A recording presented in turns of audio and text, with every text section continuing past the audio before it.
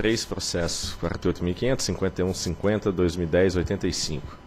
Recurso administrativo interposto pela empresa RBO Energia SA, em face do despacho 2901 de 2011, emitido pela SGH, que transferiu para a condição de inativo o registro para a realização do projeto básico da PCH Salto Vermelho 1, localizada no Rio Vermelho, no estado de Mato Grosso. Diretor relator, Dr. Romeu Donizete Rufino, forma que há pedido de sustentação oral. Por meio do despacho 2901 de 13 de julho de 2011, a SGH resolveu não aceitar o projeto básico da PCH Salto Vermelho 1, com potência estimada de 3,7 MW, localizado no Rio Vermelho, estado de Mato Grosso, apresentado pela Arcades Logo Energia Limitada e posteriormente transferido para a empresa RBO Energia SA.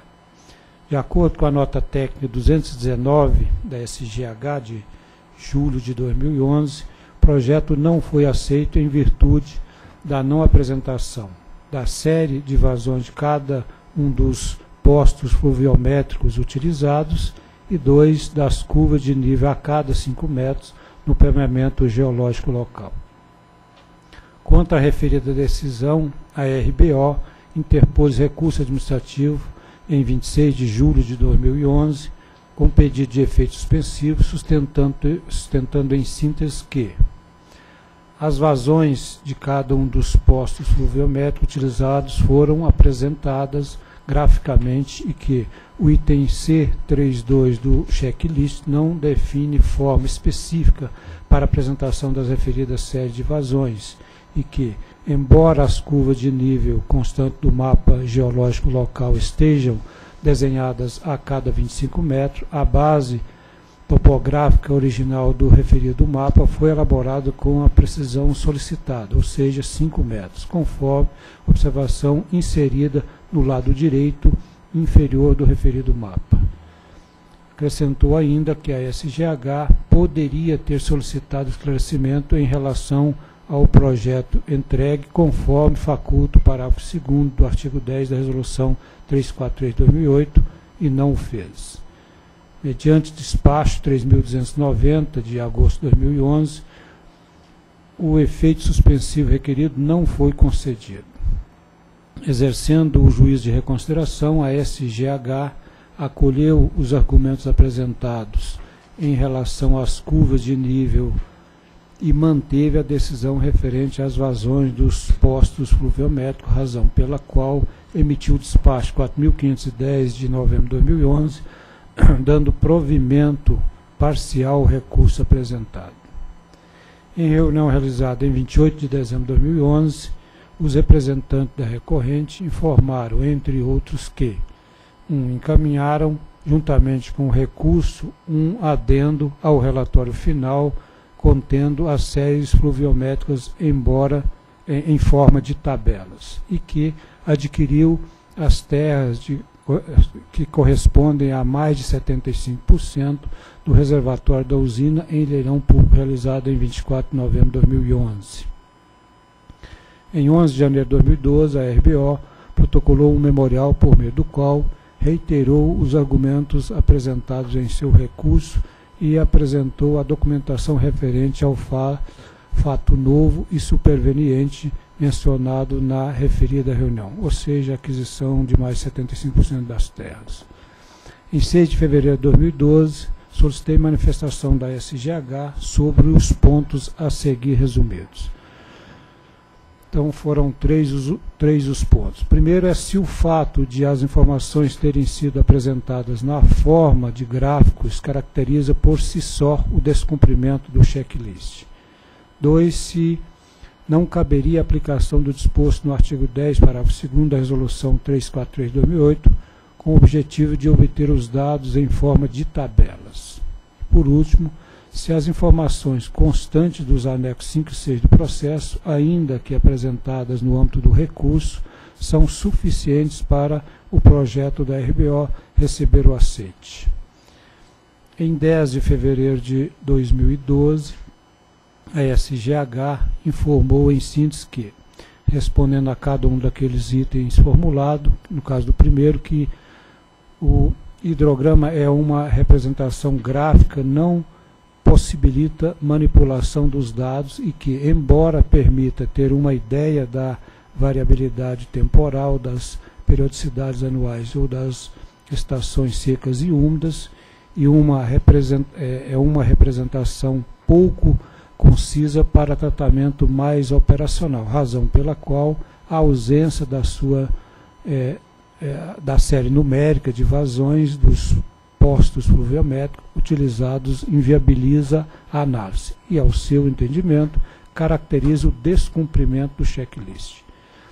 Em relação à segunda questão, ela entende que eventuais esclarecimentos é, não servem ao saneamento das da incompletude do projeto, mas à elucidação de aspectos das peças técnicas nele já presentes.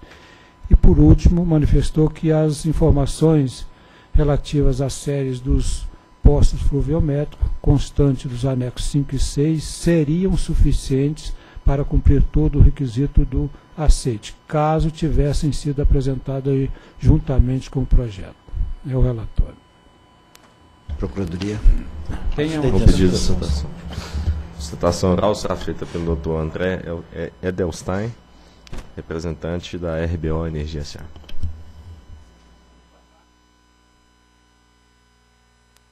Boa tarde, senhor diretor-geral, diretor-relator, demais diretores, procurador-geral, secretário. Bem, a questão aqui parece ser bastante mais simples do que outras que já foram discutidas ao longo do dia, portanto, a nossa exposição tentará ser a mais sintética possível. Como foi colocado já pela, pelo relatório, a, o despacho recorrido, né, ele indeferiu o aceite a, ao projeto básico apresentado pela Salto Vermelho, com base em duas justificativas. Né. Então, foram trazidas na nota técnica 219 de 2011. Primeira, que a empresa não teria apresentado a série de vazões de cada um dos postos pluviométricos utilizados. E a segunda, que não teriam sido apresentadas as curvas de níveis a cada 5 metros no mapeamento geológico local. Esse segundo aspecto restou superado pelo juiz de reconsideração, então, portanto, o recurso eh, questiona apenas a primeira parte da decisão relativa à série de vazões. E nesse aspecto, conforme se verá, também a decisão merece ser reformada.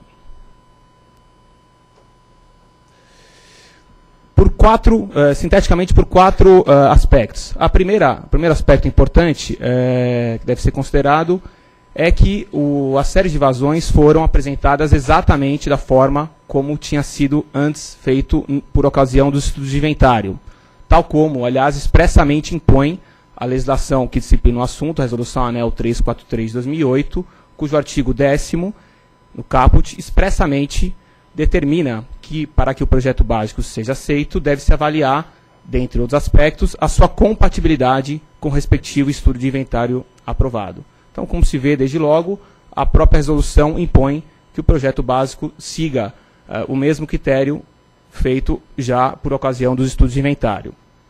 O despacho que aprovou os estudos de inventário de Salto Vermelho, por sua vez, eh, expressamente eh, anotou que todas as recomendações contidas na nota técnica que subsidiou, a nota técnica 457-2009, deveriam ser seguidas. E a nota técnica 457-2009, por sua vez, tem três comandos que merecem ser eh, relembrados. Primeiro, identificou que o projeto apresentou a série de vazões médias mensais, sendo elas compatíveis com os dados de vazão apresentados, que em função disso uh, recomendava então a, a, aprovação dos estudos de inventário do Rio Vermelho, e por fim, uma única recomendação uh, para que nas etapas posteriores houvesse o um maior detalhamento das medições de vazões no curso d'água. Isso foi atendido pela uh, empresa por ocasião da apresentação do seu projeto básico no item 6.1, nas folhas 19 do projeto básico, expressamente está inclusive registrado que os estudos, eh, inclusive os estudos hidrológicos, eh, foram realizados seguindo diretrizes da ANEL, recomendações da ANEL e também da Agência Nacional de Águas, e que, tendo sido assim aprovados, foram mantidos no projeto básico da PCH Salto Vermelho. No volume 4 do anexo 3, eh, expressamente está com, comprovada o atendimento daquelas recomendações antes mencionadas contidas na nota técnica que subsidiou uh, o despacho que aprovou o estudo de inventário. Lembrando que, além da, da, da própria resolução ANEL 438 eh, impor a, a, a necessidade de se seguir os estudos de inventário no projeto básico, a jurisprudência da ANEL, destacando uh, um despacho de 2009, destacando que uma das principais exigências normativas para a obtenção do aceite, do aceite técnico, é estar o projeto básico de acordo com o estudo de inventário. Então, reafirmado aqui por essa diretoria essa necessidade de compatibilidade uh, dos estudos de inventário com o projeto básico. O segundo ponto uh, que merece ser destacado é o fato que poderia ter sido solicitado à empresa a apresentação de esclarecimentos caso houvesse dúvida com relação ao cumprimento uh, da série de vazões. A empresa apresentou a série na forma de gráfica e, no entender da superintendência, deveria ter apresentado essas informações na forma de tabela. Uh, a despeito disso, o, o, projeto foi indeferido de plano sem que fosse uh, solicitada esclarecimentos para a empresa, como inclusive prevê a resolução é, 343 de 2008, lá no artigo 10, parágrafo 2 prevê que para fins de aceite devem ser admitidos eventuais esclarecimentos no projeto básico apresentado. Essa, esse comando, a nosso ver, é, ele, ele tem aquela natureza de, de poder-dever, ou seja, a administração poderia e deveria ter solicitado esclarecimentos ao interessado caso houvesse dúvida, e, por outro lado, é, traduz também o direito do interessado a apresentar esclarecimentos antes do indeferimento do seu aceite. Importante destacar que, conforme dito pelo, pelo diretor relator, no memorando apresentado pela, pela superintendência, pela, pela SGH em resposta aos seus questionamentos, foi destacado né, que a empresa apresentou espontaneamente eh, esses esclarecimentos quando interpôs o seu recurso e, segundo a própria superintendência, esses esclarecimentos seriam então suficientes para cumprir todos os requisitos do aceite. Então, também por esse motivo, entende que, entende que a, reforma, a decisão merece ser reformada. Também a jurisprudência da ANEL uh, valida esse entendimento, aqui a gente indica um, um despacho dessa diretoria, em que, recente do, uh, desse ano, uh, em que a SGH solicitou informações complementares e, com base nessas informações complementares, a ANEL concedeu, inclusive, uma prorrogação de prazo para a apresentação do projeto básico. Uma situação análoga ao presente caso, mas cujo raciocínio nos parece ser perfeitamente aplicável. Como terceiro aspecto, é, e a gente já vai finalizando, para se é, sustentar a, a, necessidade de reforma da decisão, deve-se destacar que a análise da SGH, com devido respeito, acabou fazendo uma avaliação técnica incompatível com a fase de aceite. Acabou analisando o próprio projeto básico em si, o próprio mérito do projeto básico em si, e não uh, se o projeto teria ou não condições do aceite. E a jurisprudência da ANEL também uh, é reiterada nesse sentido, de que nessa fase preliminar, uh, essa fase é uma fase eh, que deve ser menos criteriosa do que a própria fase de aprovação do projeto, conforme até opinou já um parecer da Procuradoria da ANEL. Então, o objetivo nessa etapa é avaliar se a documentação apresentada, nas palavras da, do, do despacho dessa diretoria, se a documentação apresentada possui um conteúdo mínimo que credencie o projeto para a análise técnica. Na mesma linha, uma outra decisão do final do ano passado, uh, também considerando importante, uh, em questão preliminar, que o aceite técnico ao projeto básico é um, é um procedimento de avaliação prévia uh, dos estudos entregues e que tem como objetivo verificar se a documentação apresentada possui um conteúdo mínimo em consonância com as condições da Resolução 343 de 2008. Por fim, o último aspecto que é, enseja a reforma da decisão é o fato já relatado de que a empresa adquiriu já é, 75% das terras, evidenciando seu real interesse na implantação do empreendimento, e por conta do artigo 11, é, tendo em conta esse fato, ela passa então a atender todas a, as condições que já lhe asseguram o direito de preferência. O artigo 11 prevê três requisitos, estão aí é, transcritos, e a empresa atende os três, né, já que o projeto básico dela já está em condições de receber o aceite, a empresa é, foi responsável, a antecessora da, da, da RBO foi a antecessora, foi a responsável pela, pela elaboração do, do, projeto de inventário, do estudo de inventário, e, por último, a empresa proprietária da maior área de, a ser atingida pelo reservatório em questão. Também a jurisprudência eh, já eh, apreciou questões similares. Eh, a gente indica aqui duas decisões bastante recentes. Numa delas se considerou, em caso semelhante, que o fato de não existir concorrentes para o mesmo potencial hidrelétrico é, reforçaria a necessidade de reforma da decisão, e na segunda delas, o fato de que não haver, é, não existirem outros interessados com registro ativo, também demandariam a necessidade de reforma da decisão. Por todos esses fundamentos e pelos princípios é, jurídicos aplicáveis ao caso, todos colocados no recurso é, administrativo, devido processo legal, razoabilidade, proporcionalidade, finalidade, legalidade, segurança jurídica, confiança dos cidadãos, vedação, comportamento contraditório, supremacia do interesse público, oficialidade, eficiência, simplicidade, economicidade e também tendo em conta uh, a norma de, de, organização da ANEL 001, cujo artigo 5 prevê uh, a necessidade de nos processos administrativos se observarem, dentre outras uh, diretrizes, a jurisprudência administrativa em vigor, requer-se então o provimento do recurso administrativo com aceite do projeto básico de Salto Vermelho. Muito obrigado. Obrigado. Procuradoria. A Procuradoria tem se manifestado, e aí cito o parecer 383 de 2009 e 408 do mesmo ano, no sentido de que o checklist contém critérios de aceitabilidade e vincula o administrador aos critérios ali estabelecidos. No presente caso, não há dúvida jurídica a suscitar uma análise específica da Procuradoria, mas valoração dos elementos entregues no, junto com o projeto básico, de forma que destacam somente a presunção de legitimidade da decisão recorrida. Então, o recurso preenche os pressupostos de admissibilidade, portanto, deve ser conhecido. Inicialmente, verifica-se que a interessada apresentou os dados de vazão de cada um dos postos utilizados na forma de hidrogramas, conforme se pode observar das figuras de número 6.25 a 6.28, constante das páginas 50 e 51, 51 do relatório final do projeto Basta, PCH Salto Vermelho 1.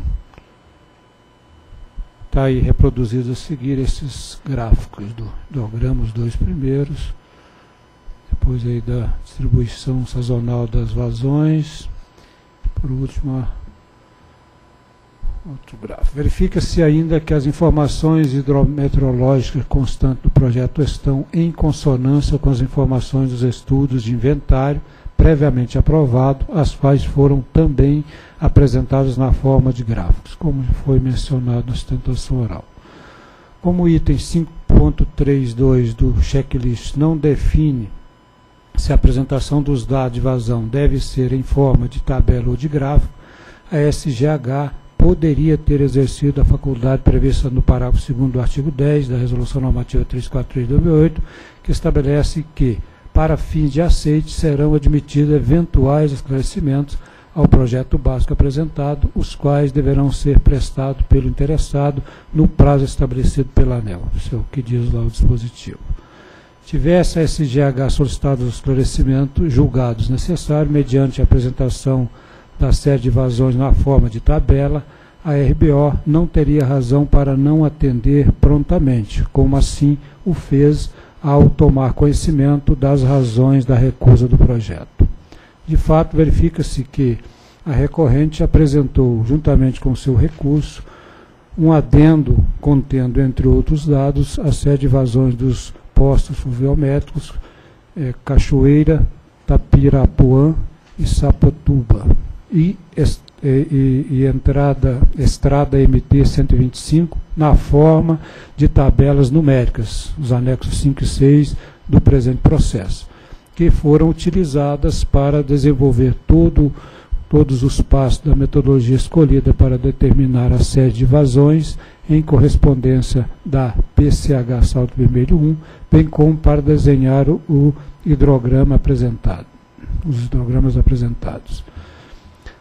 Da leitura da nota técnica 480-2011 SGH de novembro de 2011, por meio da qual a SGH fez a análise do recurso, exercendo o juízo de reconsideração, percebe-se que essas informações não foram consideradas, já que não há qualquer menção. É certo que a SGH deve analisar os projetos com estreita observância dos regulamentos vigentes. Entretanto, no caso concreto, por se tratar de um processo administrativo, a interpretação da norma deve ser realizada de maneira vinculada à sua finalidade, que é, em síntese, a garantia de um processo justo e célere. No ponto, observa-se que a própria SGH já reformou decisão após receber esclarecimento formal prestado pelo interessado, conforme consta desse despacho 1456-2009, aí estou citando um exemplo, relativo à PCH Goiabeiras, o que reforça o entendimento de que a complementação de informações, no caso específico, é perfeitamente cabível nos termos do, do mencionado dispositivo da 343. No presente caso, a SGH reconhece que os dados de vazões constantes dos anexos 5 e 6 do processo seriam suficientes para que o projeto apresentado recebesse o aceite. A referida superintendência só discorda com a apresentação extemporânea das informações. Contudo, ressalta-se que as mencionadas informações requeridas são públicas e disponibilizadas pela ANA, pela Agência Nacional de Águas, nesse sentido, e à luz do princípio da verdade material, que norteia o processo administrativo, os dados de vazões dos postos fluviométricos poderiam também ter sido obtidos de outra forma, pela própria SGH, para serem comparadas com as informações gráficas apresentadas, independente de qualquer comando em regulamento próprio da ANEL. Por fim, e não menos importante, observa-se do relatório datado de 3 de fevereiro de 2012 e disponibilizado pela SEH no sítio da ANEL, na internet, que não há concorrente para o potencial em questão.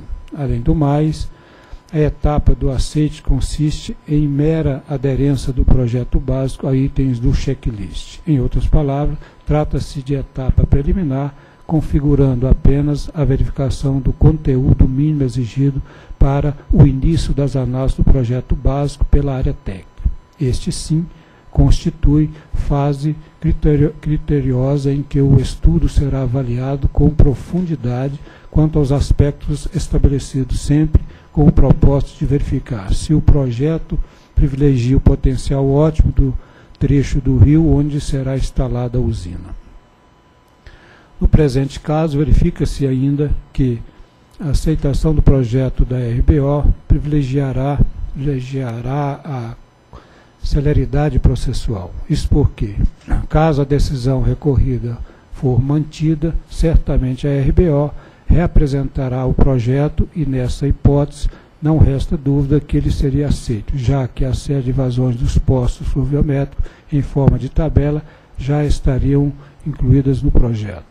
Ademais, caso é, Ademais, caso surgirem outros interessados, o direito de preferência já estaria assegurado nos termos do artigo 11, inciso 2 da Resolução 343 de 2008, visto que sua antecessora foi a responsável pelos estudos de inventário.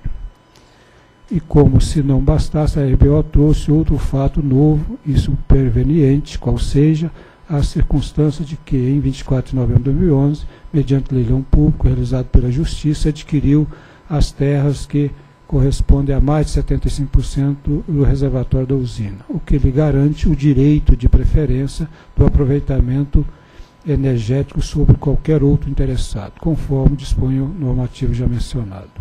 Conclui-se, portanto, que a decisão da SGH merece ser reformada. Passo ao dispositivo, então, diante do exposto e com base no documento constante do processo, voto por conhecer e dar provimento ao recurso administrativo interposto pela RBO Energia SA em face do despacho 2901-2011, lavrado pela SGH e, por conseguinte, considerar atendidas as informações prestadas relativas à série de vazões dos postos fluviométricos utilizados, determinando o retorno do processo SGH para a continuidade da análise do projeto básico da PCH Salto Verde 1 para fins de aceite. É o voto. Ok, em discussão? Bom, Romeu, eu fiquei é, em dúvida aqui no, em alguns pontos do seu voto. Acho que o, a argumentação não convive muito com o que foi colocado. A começar com o que está no parágrafo 14, onde fala que o item C3.2 do checklist ele não define se a apresentação dos dados de vazão deve ser em forma de tabela ou grafo. Ora, o item C32 do, do checklist, ele diz respeito, eu vou até me permitir ler aqui o checklist. Ele fala da apresentação das informações hidro meteorológica utilizadas e que deverão ser apresentadas informações incluindo série de vazões dos postos fluviométricos utilizados. Não há essa dúvida. A série de vazões dos postos fluviométricos utilizados é uma informação dada que só pode ser apresentada em gráfico no, no, ou em tabela. O que, que, que, é a, a vazão do poço fluviométrico da série? É uma vazão considerando os 12 meses do ano, ano a ano, em metros cúbicos por segundo, e no mínimo 30, 30 anos, os últimos 30 anos do projeto. Ou seja, se o projeto foi apresentado em 2008, é razoável que se pegue de 2007, 2006, 30 anos para trás. Então não, não há como, ao meu ver, não existe essa dúvida e não, e não enseja o regulamento esse esclarecimento. E tanto assim o é porque nós tratamos com quantos agentes aqui na SGH? Eu acho que hoje mais de mil agentes e nenhum agente suscitou essa dúvida se a informação, se a informação deve ser prestada em tabela ou gráfico. A informação é, é única, ela só pode ser prestada em tabela, ou seja, a informação não foi prestada. Então, é, agora a dúvida que tem é o seguinte: é um, o checklist, como foi bem colocado até da, na sustentação oral promovida pelo agente, ela é, uma, é um, uma etapa preliminar do processo. Não há análise de valor da informação. É apenas uma avaliação se a informação consta ou se a informação do, não consta. Aqui enfrentamos por diversas vezes discussões, ah, informação é inadequada, série de vazões não é daquele projeto. Nesse momento, não há análise de valor. Ou tem informação ou não tem informação. Então, nesse caso, a informação não tem, não foi apresentada a, a, a série de vazões do empreendimento em tela. Isso é um fato. Eu acho que essa discussão, se é em tabela ou em gráfico, ao meu ver, ela não é muito adequada. Aí a, a, a, dúvida que tenho é que a resolução a 343 de 2008, ela veda a complementação ou substituição do projeto básico desde sua protocolização no ANEL até o recebimento do, do aceite. E essa etapa ela é preliminar ao aceite, correto? Se ela é preliminar ao aceite, é possível o agente in, é, introduzir uma nova informação? E, e aí, além do mais, a, de, é, diante dessas discussões, a superintendência, a SGH, ela tem que observar o despacho 1828 de 2009, que determinou que nos processos de deferimento do aceite de projeto básico, os itens previstos no checklist deverão ser observados em sua integralidade. Então, não, de fato, o superintendente da área, que é o que vai tomar a decisão, ele não tem competência para assim não proceder. Ele está completamente adstrito às suas ações ao que diz o regulamento, ao que, ao que reza o checklist. Então, se o checklist fala que tem que ter a, aquela informação, não cabe juízo de conveniência ou oportunidade a ser exercido pela liderança da área. É, ele procedeu da forma correta. Tem, não tem, e é o que deve ser feito.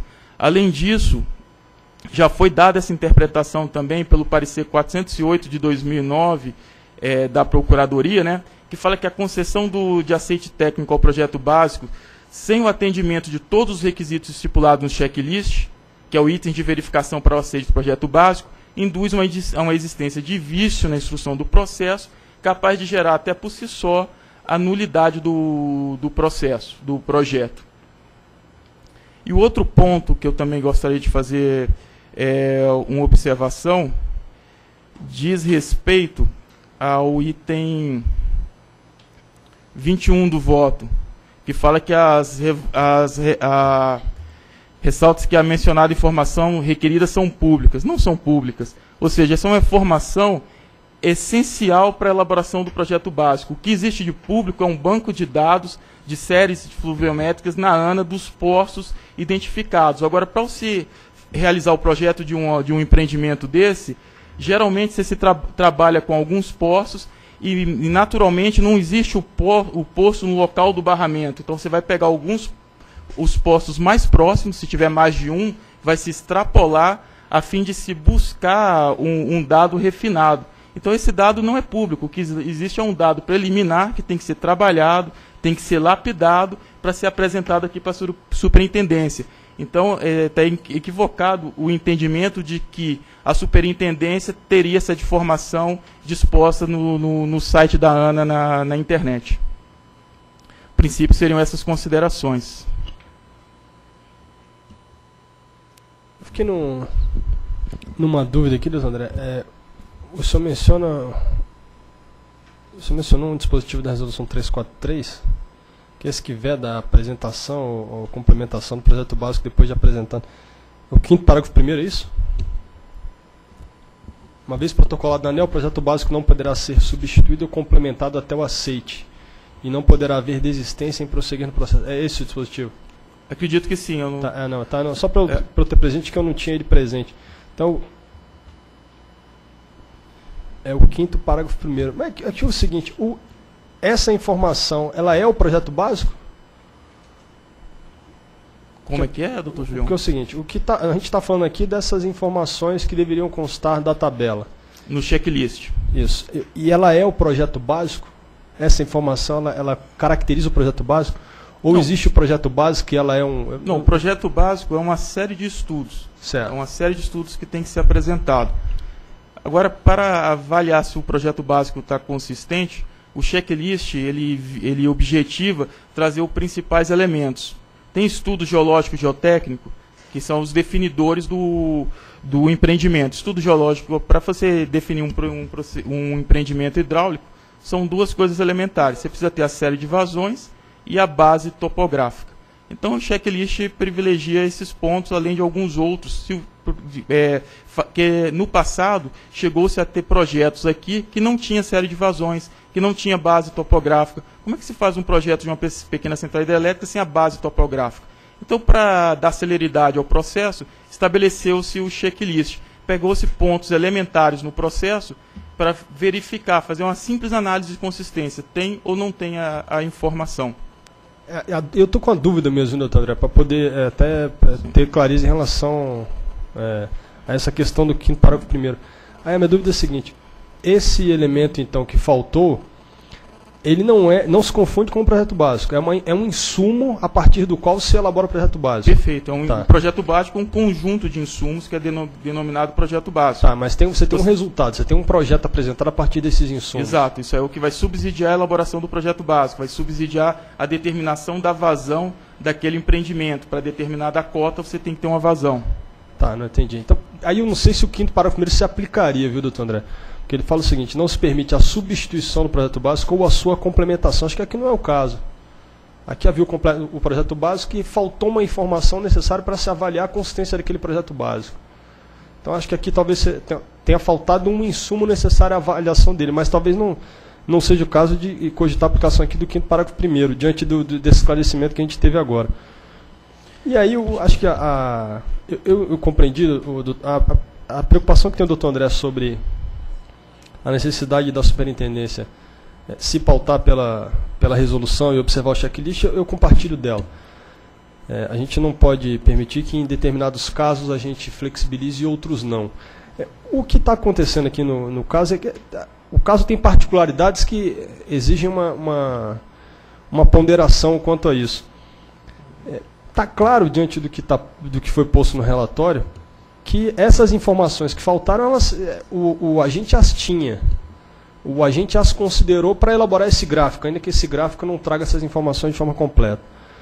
Se o agente as tinha, e inclusive deu sinais de que as tinha ao apresentar esse gráfico, eh, eu penso que caberia sim aplicar aqui o, o- o previsto no artigo 10, parágrafo 2 Talvez seja o caso até da gente aprimorar eh, a resolução para que haja um prazo.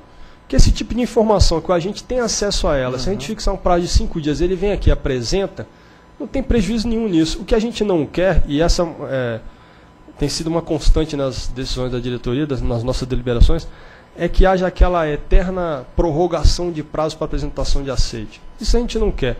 Mas uma informação dessa, que está à mão, que inclusive é, a própria condução aqui do processo mostra que isso estava presente, tanto que o gráfico foi elaborado a partir dessas informações, eu acho que caberia sim aplicar o 10 parágrafo 2 e abrir um prazo para que a empresa, em dois dias, se fosse o caso, apresentasse essas informações e não voltar para uma etapa do processo inicial que acaba andando na contramão dos princípios que a gente costuma observar de confiabilidade de fornecimento, celeridade na instrução de processo para efeito de outorga. Então, é, acho que caberia, doutor Romeu, eu, eu- eu compartilho da preocupação do doutor André. No caso concreto, eu acho que eu acho, dadas as particularidades do caso, caberia sim aplicar o artigo 10, parágrafo 2 Aí a sugestão que eu faria seria só no sentido de a gente fazer uma determinação para a área, avaliar um acréscimo ao parágrafo 2 para deixar claro que em alguns casos, caso ela constate que aquela informação está fácil, que o que faltou eventualmente pode ter sido até a adequada instrução dos autos, o cara esqueceu uma, uma informação qualquer. Se é possível ver que o estudo foi feito devidamente, é, e que a, aquela informação foi manipulada pelo agente, a gente tem uma previsão, talvez até aqui no parágrafo segundo, de que a gente vai fixar um prazo de 10 dias, ou a gente vem e instrui, para a gente não ter que voltar lá para a fase anterior. E com isso, dando esse prazo curto, a gente é, não vai dar margem para os agentes que estão atrasados e que não fizeram o projeto básico. Então, dadas as particularidades do caso concreto, doutor André, acho que eu, é, ainda que eu também não é, tenha completa concordância com a fundamentação nesses pontos que você mencionou, mas acho que na essência, pelo que demonstrar o diretor relator, a gente chega a uma boa decisão caso acompanhemos a, o que foi a proposta de voto. É que a gente tem uma divergência ou outra quanto a, ao todo da fundamentação. É só um comentário, porque, de fato, é claro que o doutor André conhece o, o assunto muito melhor do que eu, mas a minha linha de, de, de, raciocínio aqui é o seguinte: claro que se não tivesse nem o gráfico, nem a tabela, claro está que faltou uma informação essencial do checklist. Certamente o doutor André, e possivelmente para a área, está claro de que, ao dizer que tem que ser os dados de vazão de, dos postos pluviométricos, está dizendo que é na forma de tabela. Para ele está claro. Para mim não está claro. Para mim eu continuo tendo a dúvida. Eu continuo entendendo que aqui ele apresentou tudo bem, na forma de gráfico, mas certamente ele não consegue chegar ao gráfico sem ter a tabela. E, para ser claro, para não deixar nenhuma dúvida, poderia sim a norma dizer os dados e tal na forma de tabela. Tudo bem, pode ser que isso para o especialista no assunto esteja claro, mas a norma não é feita só para o especialista, é feita para todo mundo que vai ler e ter que interpretar e até que julgar a norma. Então, assim, dizer que se fosse uma informação, tem a ausência da informação, aí eu não tenho dúvida que não caberia isso. Mas a informação tem na forma de gráfico, ah, não, mas a forma de gráfico não atende o que está na norma. Tem. Aí é o que eu estou dizendo. Para mim cabe a dúvida sim. Se não tivesse nem gráfico nem tabela, eu não tenho dúvida. Eu não interpretaria dessa forma. Diz, não tem informação, portanto, ele não atendeu o checklist. Agora aqui, eu, eu, por isso que eu sugeri essa linha. Quer dizer, na verdade, se tem o gráfico, é lógico que tem a tabela que permitiu ele construir o gráfico. E tanto tem que na fase do recurso ele apresentou, ele já apresentou. E, de fato, não imagino que não os dados assim preparados, vamos dizer assim, mas na forma, os dados brutos tem-se no site da ANA. Foi o que me, me, me, me garantiram, tá certo? Então tem, estou acreditando que tem. Então, é, nesse caso aqui, volto a dizer, se não tivesse a informação, eu concordo, esse rigor do checklist eu acho que é para isso. Mas tem a informação na forma de gráfico, e aí, em benefício da celeridade né, e do, do, do, do objetivo maior que se busca aqui, quer dizer, na verdade, é, é, é, significa, se nós não dermos provimento ao recurso, começar tudo de novo exatamente com o projeto que está aí eu não, não me sensibilizo assim com esse rigor extremo da norma e dessa questão de não poder, nesse caso particular, pedir essa complementação. E também não estou aqui, evidentemente, fazendo uma crítica à forma como a área fez. Não, eu concordo com você. Essa, esse grau de liberdade que eventualmente a diretoria tem de eventualmente reformar com a decisão da área, com os elementos que nós estamos aqui discutindo, evidentemente que o superintendente não tem o mesmo grau de liberdade, eu concordo com isso, quer dizer, não estou aqui criticando o fato dele não ter, eu estou dizendo é, poderia ter sido feito de outra forma, no meu modo de ver, poderia sim, mas se queremos, e eu concordo, é, já tivemos numa fase que essa aplicação do próprio checklist era muito flexibilizado, né? a própria diretoria, a procuradoria, nós aqui já demos sinalizações muito claras no sentido de que não deve fazer isso. E também não devemos fazer uma evolução de interpretação, a não ser que a gente deixe público isso. Eu só pratico isso a partir do momento que eu deixei isso claro. Mas, assim, não acho que essa, esse rigor tem que ser em prejuízo do objetivo que se busca. Eu acho que ele tem que ser para apoiar e para decidir da melhor qualidade possível que se busca. No meu modo de ver, é isso. Agora, concordo também com o que disseram tanto o diretor André como o diretor Julião. Tudo bem, pode ser que os fundamentos que eu coloquei aqui, é claro que o voto e, o, e a fundamentação são do diretor relator. Evidentemente que a decisão é do colegiado, né? nem, nem todo mundo precisa ter absoluto alinhamento com, com a fundamentação. Né? Então, eu até tenho alinhamento com a fundamentação. Com um ponto ou outro dela é que eu é, talvez tenha dúvida assim, na essência, no que é importante para tomar decisão, eu tenho alinhamento. É, acho até o, mas, mas, tem a preocupação do doutor André, por exemplo, se aqui fosse um caso com, é, com, com, disputa, a gente teria que chegar a uma, a uma solução como a, a, a, que levaria a fundamentação do doutor André. Mas, mais uma vez, diante das particularidades do caso, acho que fica bem encaminhado dessa maneira. Eu só faria essa sugestão, viu, doutor meu, que a área prevesse uma, um acréscimo que pode ser nesse 10, parágrafo 2 para o caso em que não houver disputa, para que haja então, em cinco dias a gente apresenta para evitar que vá para o recomece o processo inteiro. Se, se entendi, doutor João, o que nós então nessa linha é deveríamos incluir uma orientação para a área para é, é, acrescentar, vamos dizer assim, nessa situação de que não haja disputa, essa possibilidade de demandar alguma, alguma complementação num prazo cinco dias, X dias, dez dias, enfim.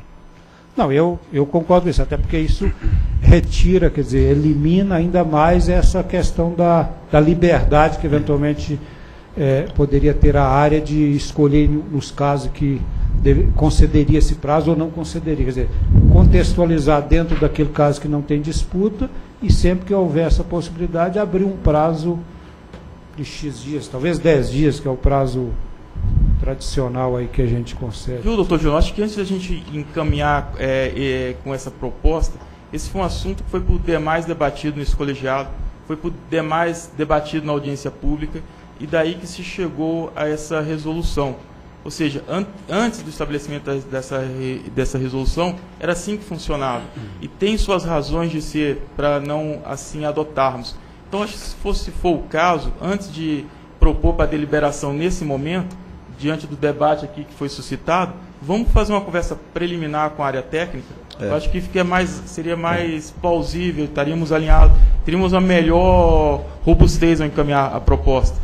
É, acho, assim, acho que a minha sugestão era mais ou menos essa linha mesmo. Vezes propor para a área, porque também assim, gente, é, que é difícil, né? A área fica numa situação difícil demais. Primeiro, a gente, o André colocou bem, né? a gente exige assim, ó, não dá para flexibilizar nada. Ó. Aquilo ali, nessa fase aqui, é, tem ou não tem, não tem, acabou. Então, pode assim, aí a gente olha e realmente, falou, a diretoria tem que olhar e isso que o Romeu colocou é um fato, ou seja, estão querendo que tenha os empreendimentos, que saiam os empreendimentos, e, e, e sabe, gente olhar quando foi apresentado aqui, se o, se o agente está brincando de apresentar um ou se apresentou mesmo, tem elementos aqui para julgar isso e poderia criar isso aí.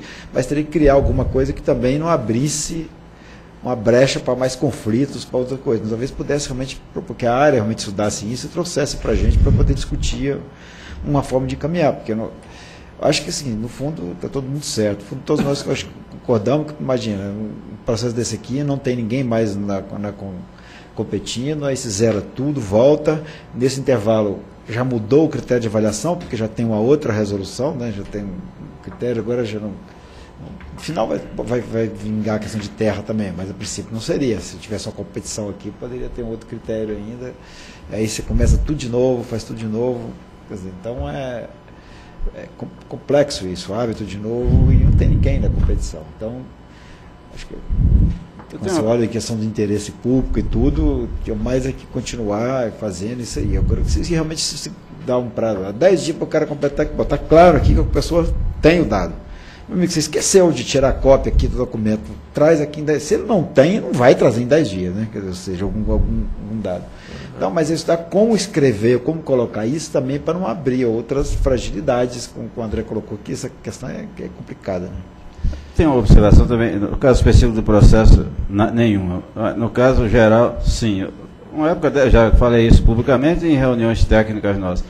Uma época dessa, quando eu era relator da 343, fiz uma conta e descobri que nós levávamos, em média, seis anos entre a entrada do estudo de inventário, e não é nem que sair com autógrafo, sair com um projeto básico aprovado. Em média, seis anos. E desses seis anos, Em média, dois é nessa discussão do checklist. Aí eu sugeri, por que não eliminamos dois anos excluindo o checklist?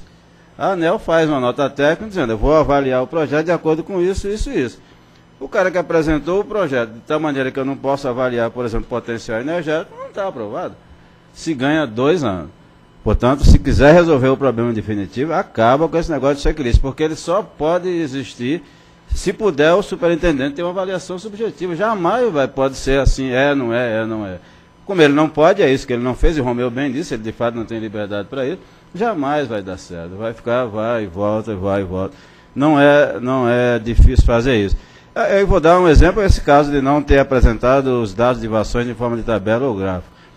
É, era só um, como é que você chama? Cara crachá. Apresentou, não apresentou. Podia ter apresentado qualquer, bom, não tem número, vou apresentar a quantidade de índios que nasceram na cidade e tal. Era só isso que ia olhar.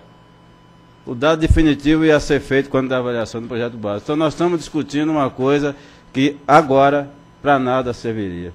Então, se quer mesmo resolver o problema, acaba. Vamos estudar, discutir. A, a própria área deve avaliar para que serve esse checklist. Entendeu? Eu, para mim, eu só serve para atrasar o processo, em média, dois anos. Agora, é, de fato, o Romeu colocou que a motivação é do relator, é, e o, no que concordo, de fato não tenho muito, é, total aderência à motivação, sem prejuízo de até achar, considerando que tem apenas um empreendedor competindo, achar até razoável o encaminhamento em prol da celeridade do projeto.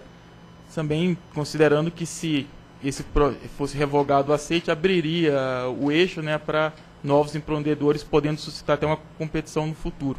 Mas eu, eu faço um questionamento ao, ao, relator, diante de toda a fundamentação, é sobre o parágrafo 21 do voto, se ele tem alguma objeção a gente desconsiderar o, o, o parágrafo 21, por conta dessa questão de verificar o, os dados na ANA. Os dados é, não, a forma do projeto não é tão linear assim, não é o dado da ANA, esse dado tem que ter um tratamento, tem que ter uma, uma discussão sobre que posto, se tivermos dois postos, o empreendedor vai, vai decidir, vou usar um posto, vou usar os dois, ou vou usar ou um ou outro, assim, não é tão linear né, o, encaminhamento para a realização do estudo. Nenhuma, desculpa, nenhuma objeção, não. Quer dizer, na verdade, aqui como eu disse, você conhece, eu acho que a, isso é a grandeza de um colegiado, é a ideia da complementariedade. Você conhece certamente o assunto melhor do que eu. Então, naquilo que puder precisar melhor, eu não tenho nenhuma objeção. Então, se é uma informação que não está precisa e não contribui, é, vamos dizer assim, é isso que eu estou entendendo, nenhuma objeção em, em, em, retirar essa, essa argumentação, não, doutor André, absolutamente. Ok, fechando. Tem votação? Voto com o relator. também voto com o relator. Também voto com o relator. Também voto com o relator. A diretoria decidiu, por conhecer da provimento administrativo interposto pela RBO Energia SA e face do despacho 2001 de 3 de julho de 2011, lavrado pela SGH, conseguinte considerar atendidas informações prestadas relativas à série de vazões do próximo métrico utilizado, determinando o retorno do processo à SGH para a continuidade da análise do projeto base da PCH Salto Vermelho 1 para fins de aceite. Bom, e depois tem a, a, a sugestão né, de para a área tentar analisar a questão aí de ter uma forma intermediária de tratar Vamos promover isso e voltar isso para a né, gente, uma reunião com a gente. Pois é, mas eu entendi que a que convergimos aqui é de que não precisamos tratar isso no âmbito do processo. Faremos isso. Pode é isso? É, exato. Não é. nesse encaminhamento. A gente vai chamar ah, uma abordagem de melhoria do processo. Né?